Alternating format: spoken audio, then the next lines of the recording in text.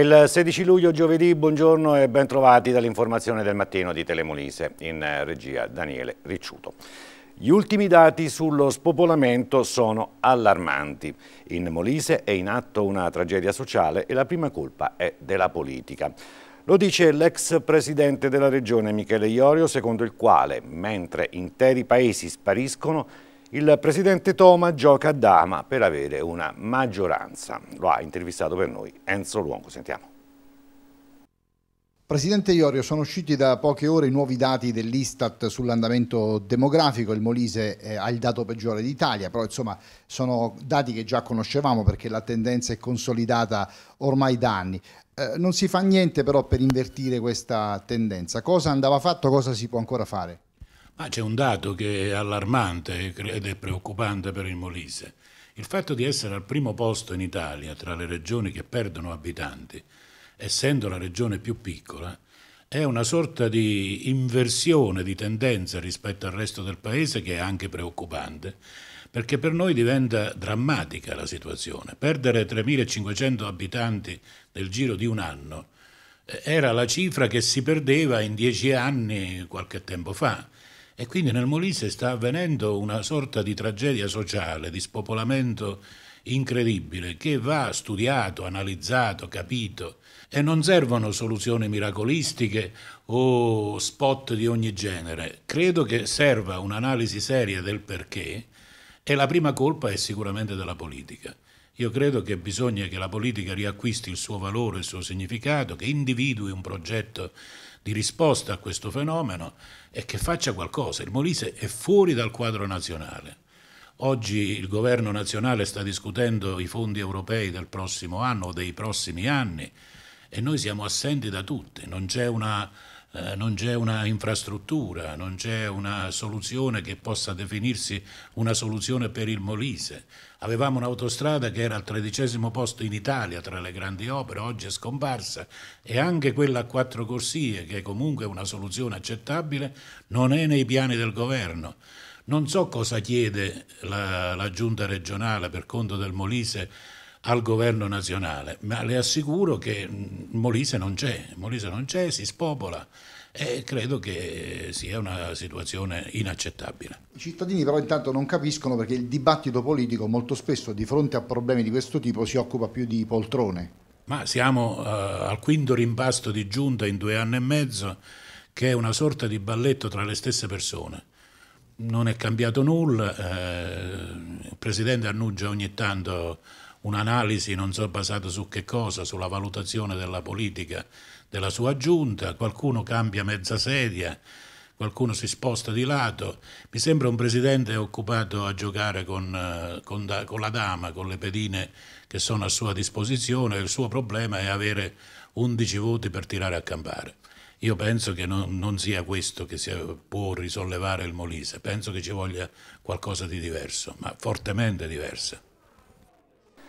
La Regione lavora alla ZES, la zona economica speciale adriatica, un mezzo per attrarre investimenti, attivare ricchezze e lavoro.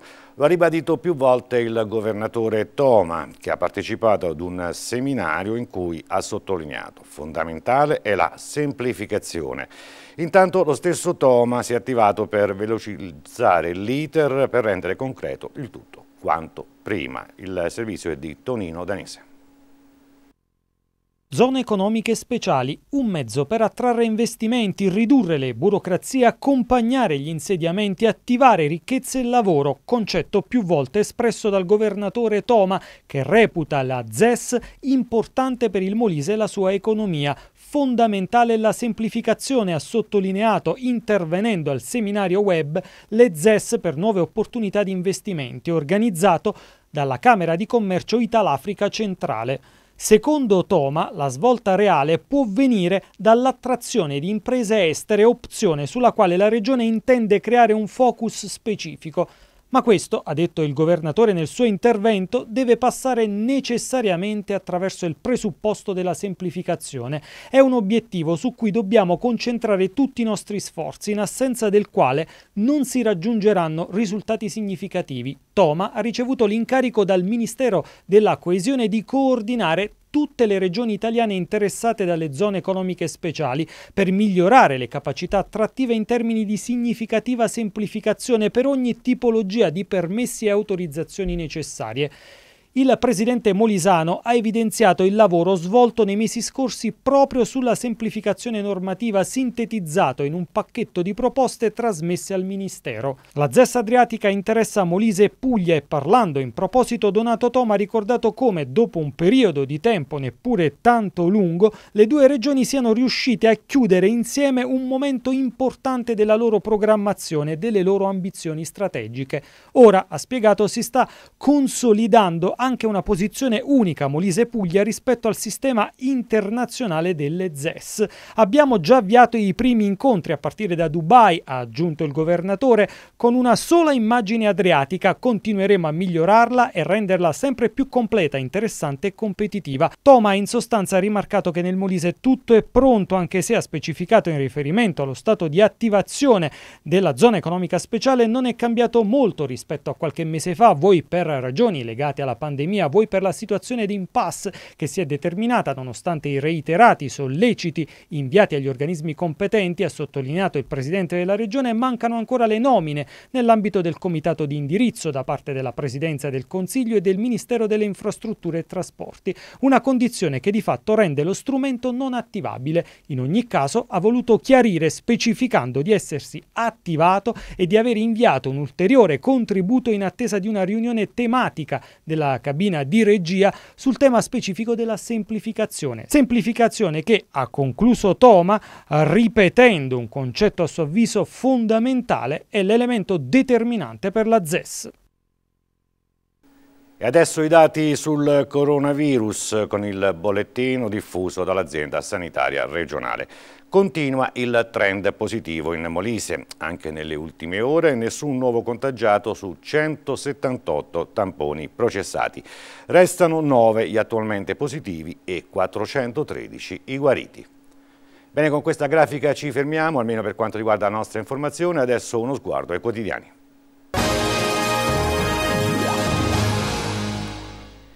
Iniziamo dal web e dal giornale del Molise.it. In apertura la politica Toma interviene sulle zone economiche speciali. Fondamentale, ha detto il governatore, intervenendo ad un convegno, è la semplificazione. Le altre notizie, sisma dell'estate 2018 in Basso Molise. Il governo stanzia fondi per l'emergenza, ma manca il commissario. Adesso a Campobasso il centrodestra boccia l'amministrazione Gravina. In un anno, dicono, nulla è è cambiato. Restiamo sempre nel capoluogo. Le case di edilizia residenziale pubblica potranno essere acquistate. Altra notizia, l'Adoc Molise scrive a Poste Italiane contestando il taglio degli orari dell'ufficio postale di Pietrabondante. E ci sta anche quest'altra iniziativa, Solidarietà con Divisa, nasce a Isernia la sezione dell'Associazione Donatori della Polizia di Stato. La cronaca da Termoli, scontro tra due auto, traffico bloccato a Difesa Grande. Adesso Futuro Molise. Continua il valzer delle poltrone, Pallante assessore al posto di Marone, Aida Romagnuolo rifiuta il sottosegretariato. Gli altri titoli, la cronaca, scippa un'anziana in pieno centro a Montenero di Bisaccia, denun eh, denunciato un 25enne. La sindacale, con l'intervento della segretaria regionale della WIL Tecla Boccardo, senza un patto per lo sviluppo, per il Molise sarà crisi irreversibile, ha detto. Quindi si parla anche di trasporto locale, i sindacati annunciano uno sciopero di 4 ore per lunedì 27 luglio. Ci spostiamo adesso su primo piano. Marone fuori dall'esecutivo. La Lega ricorda al governatore gli accordi con Salvini e il Cavaliere. Iari Colla riferisce a primo piano di un recente confronto tra Toma, il leader del Carroccio, e Berlusconi. Se non mantiene i patti sarà il primo presidente di centrodestra a rompere l'alleanza a due mesi dalle regionali. Il commissario non esclude dunque conseguenze nazionali. Non siamo lo scendiletto di nessuno. Le altre notizie andiamo a vedere quelle a centropagina, eccola qui, con la foto di Palazzo San Giorgio, il sindaco rifà il look all'ufficio in piena emergenza sanitaria. Opposizione all'attacco di Gravina, spesa inopportuna, hanno detto i cittadini, fanno fatica ad arrivare a fine mese e commercianti delusi, ingannati dalle promesse elettorali. In alto, sotto la testata, quella che viene definita da primo piano la pugnalata, negata la modifica alla tomba del Parà di Lisio. L'assessore 5 Stelle alla mamma Dora dice il comune di Campobasso per suo figlio ha già fatto molto. Si parla anche di istruzione, un milione e mezzo di euro dalla Regione per i laboratori extracurriculari. Di Baggio, l'assessore dice, idea unica nel suo genere. Poi sulla questione del Censis c'è l'intervento da parte del rettore Luca Brunese, dice siamo penalizzati dal contesto. Nella rubrica Il Punto, oggi un articolo a firma di Vittorio Sanese, Alessandro e il valore del sacrificio, e si parla proprio del caporal maggiore scelto, Alessandro Di Lisio, morto ucciso in Afghanistan. Andiamo alle notizie di spalla. Siamo a Schiavi d'Abruzzo, rogo in cucina, un medico 75enne muore intossicato. A Campobasso invece avvicendamento ai vertici delle fiamme gialle, Favia cede il comando al colonnello Cefalo. Da Agnone le grandi manovre preelettorali, prove d'intesa tra Saia e Scarano, no da parte del PD. Per quanto riguarda la post-pandemia, la crisi non risparmia le scorte tariffe a picco in tutta Italia, in provincia di Senia invece lievitano, scrive Primo Piano. Poi a Termoli, semplice bellezza, c'è il videoclip che promuove e rilancia la città. E ancora per quanto riguarda il Covid, al via i test sierologici alle forze di polizia sono stati avviati dall'azienda sanitaria regionale. Lo sport in basso, Vasto Girardi, primo tassello per Mister Prosperi, ecco il classe 2001 Ivan Ziroli. Nel campionato di eccellenza altro super colpo dell'Isernia, ecco l'atteso numero 10, firma Petrone. Poi, infine, De Luca Bossa, una nuova regista per l'Europea 92. Ci spostiamo adesso sulla stampa nazionale, qui a tenere banco è quello che è stato definito il dossier autostrade, ed ecco il titolo di apertura del Corriere. Autostrade, la svolta e i dubbi. Benetton promette il passo indietro, poi l'intesa, nuovi soci e si tratta. L'opposizione però attacca, Atlantia vola in borsa dopo il tonfo del giorno precedente. Di Maio dice ora giù i pedaggi e più sicurezza o scatterà la revoca. Conte lo definisce un capolavoro. A centro pagina questa notizia, sequestrai 50 bambini per odio verso l'Italia.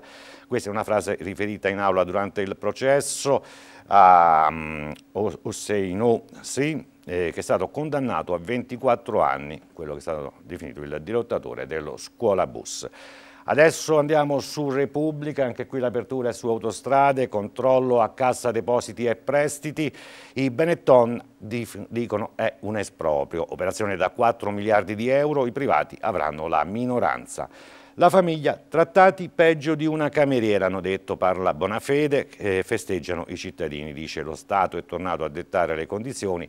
Per il ministro De Micheli il governo si è rafforzato. Vedete questa foto a centro pagina, quel corpo alla deriva che ci offende tutti. Da due settimane il cadavere di un migrante vaga nel Mediterraneo e questo, vedete, il corpo di un migrante aggrappato al relitto dell'imbarcazione alla deriva nelle acque libiche. Da Repubblica adesso al Fatto Quotidiano, autostrade libere, i Benetton in fuga. Vincitori e vinti, Conte, 5 Stelle e Gualtieri vincono, battendo Renzi, De Micheli, Salvini e Grande Stampa. Aspi dunque sarà statale, i Benetton dall'88 all'11%, poi via del tutto. Toninelli parla di un successo enorme. La questione autostrade, allora, eh, abbiamo detto, mh, mm, è sulle prime pagine apertura di molti quotidiani, non è così su Avvenire che titola in questa maniera, è crisi di civiltà. Dunque il Presidente della CEI dice senza figli non può esserci ripartenza, la politica realizzi le promesse. Parla Bassetti, dice la vera emergenza, il calo delle nascite. Priorità sostenere la famiglia. Un nuovo studio internazionale dice in 80 anni l'Italia dimezzerà gli abitanti. La questione autostrade finisce a centropagina, in autostrade ritorna lo Stato. Chiudiamo anche il quotidiano della CEI, passiamo al mattino di Napoli, sud la bomba, disoccupati. L'allarme dal rapporto Svimez. Dopo il Covid, a rischio un posto di lavoro su cinque. Inflazione a Napoli, il caro prezzo eh, prezzi è da record. Ogni famiglia spenderà 153 euro in più. E vedete a centro pagina la questione autostrade, mentre di spalla la campagna degli scienziati sfida il virus. Ci sono 78 ricerche da parte del professor Ascerto e di altri esperti. Ora il manifesto Strada Statale titola con, vedete la foto di un casello autostradale. Lo scontro su autostrade ha finalmente una soluzione. L'accordo notturno nella maggioranza prevede l'uscita di scena dei Benetton e la creazione di una public company. Lo Stato torna a gestire la rete, esultano 5 Stelle, soddisfatti PD e Leo, si parla anche della vittoria del Premier Conte. Ora il sole 24 ore con quest'altra notizia. In gorgo fiscale in 15 giorni ci sono 246 scadenze per il fisco.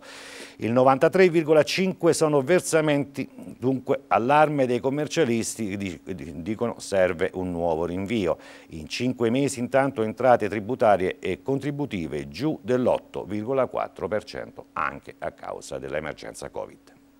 Autogol di Conte è il titolo che apre l'edizione di oggi di Libero, autostrade fa il danno, gli italiani pagano. Il governo statalizza e poi aggiunge il libro con i soldi di contribuenti e risparmiatori compriamo a caro prezzo la società che fece crollare il ponte Morandi. I responsabili della tragedia ringraziano e incassano e ancora si legge, record del debito pubblico 2.500 miliardi. E il Premier rifiuta i fondi del MES, che è il meccanismo salva stati. Il tempo, Conte fa ricco Benetton, il governo non revoca la concessione, Atlantia vola in borsa e fa guadagnare 805 milioni all'imprenditore. Su anche gli altri titoli del gruppo, beffa intanto sul risarcimento, i 3,4 miliardi previsti non sono a carico della famiglia, scrive il Tempo. Andiamo sull'altro quotidiano della capitale, il Messaggero, autostrade, Conte piega mm, il Movimento 5 Stelle. Lo Stato ricompra Aspi dopo una notte di trattativa serrata, resta il nodo del prezzo. Il Premier dice abbiamo vinto ma i grillini sono scontenti, dubbi intanto PD e Renziani eh, sono invece critici. A centro pagina dal Messico al Circeo una ragazza positiva ed è allarme movida. Parla il sindaco Schiboni, dice qui notti senza regole, i bar non rispettano i divieti di alcol ai minori. La stampa, oggi c'è un'intervista al il ministro De Micheli, nessun esproprio ai Benetton, ha detto dunque, e aggiunge, hanno scelto loro di uscire da autostrade, salvati 10.000 posti e poi aggiunge, ringrazio il Movimento 5 Stelle. Dalla stampa adesso alla verità, Conte fa un regalo ai Benetton. Fine della pantomima. Giuseppi perde di nuovo la faccia, scrive il quotidiano di Belpietro. Dopo aver annunciato la revoca in un'intervista al Fatto, il Premier fa dietro fronte e si accorda. Il titolo della holding di famiglia schizza in borsa più 26,6%.